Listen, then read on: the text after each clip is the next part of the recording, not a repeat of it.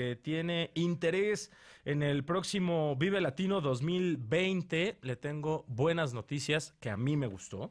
Eh, a través de redes sociales, los organizadores del Vive Latino 2020 dieron a conocer la lista de las bandas que se van a presentar ya por día el próximo 14 y 15 de marzo, ahí en las inmediaciones del autódromo del Foro Sol, aquí en la capital mexicana. Seguramente tanto los que viven aquí en la Ciudad de México, los que somos chilangos, los que están en el Estado de México y pues en muchas partes de la República Mexicana que vienen para acá entonces, pues los que más interesan obviamente son Guns N' Roses. Van a estar el primer día. A ver, le voy a leer.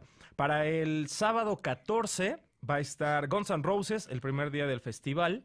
También va a estar All Them Witches, Bersut Bergarabat, Carlos Vives, Chetes, el Cuarteto de Nos, eh, Elefantes, Fangoria, la chilena Francisca Valenzuela y Amak Kasim, así como Little Jesus, están los Daniels, Rebel Cats, Ray Pila, eh, The Phantom, The Cardigans, Vetusta Morla, Vicentico y algunas otras más, que si no... Ah, She Wants Revenge, que me gustó mucho. Y luego para el domingo va a estar Andrés Calamaro, va a estar Babasónicos, eh, Carlos Satnes, Cultura Profética, Desorden Público, DLD, Eli Guerra, Ed Maverick, esta mujer que es súper peculiar que se llama Flor Amargo, va a estar Gustavo Santaolalla, Indios, la AA, los Tucanes de Tijuana. Vamos a ver los Tucanes de Tijuana, ¿no, Paco? ¿O qué?